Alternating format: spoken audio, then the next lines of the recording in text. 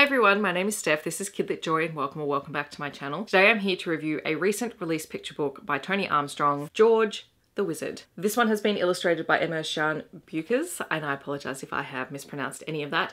And this book was sent to me for review by Hachette, who reached out and asked if I was interested in reviewing it, and I'm always happy to review Australian picture books because it just makes my heart happy.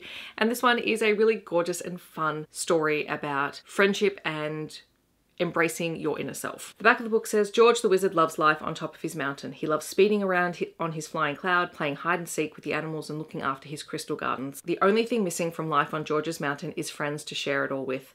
But does George have the courage to show others who he really is? An uplifting story about friendship and the rewards that come from being the real you from beloved TV personality Tony Armstrong with artwork by Emma Sjaan Beukers. So this is a gorgeous book. And the first thing that I noticed about it is the one, the illustrative style. It is very cartoon-like and I think there's something really whimsical about that, but also the way that it uses text and font to create the story. So in a lot of ways, this reads like a graphic novel. There's no panels or anything like that, but uses big, bold block letters. I'll find another example on a page inside the book, like here.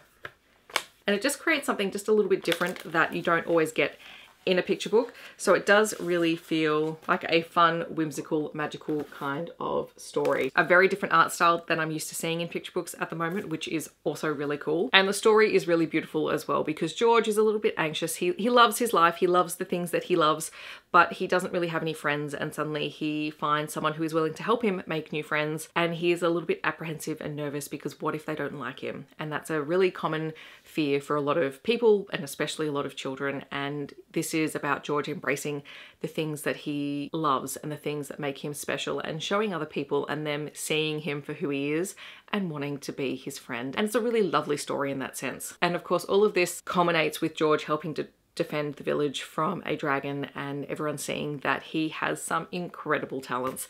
And it was so fun and just adorable. And I know this is one that will really captivate the attention and the imaginations of a lot of kids because it is magical and fun, but it's also linked to something that is a very real concern that they have. So thank you very much to the publisher for sending me the review copy. I'm going to leave more information about the book, the author and the illustrator down below. So if you'd like to find out more, you can. And I would love to know, have you read George the Wizard? Are you planning on picking it up? Or do you have any recommendations for books that sound similar? Feel free to leave those down below. If you just want to let me know that you're here, but you don't leave a comment, feel free to leave a magic wand emoji down below. Otherwise, I hope that wherever you are in the world, you're staying safe and healthy and I will see you in my next video. Thanks so much for watching. Bye everyone.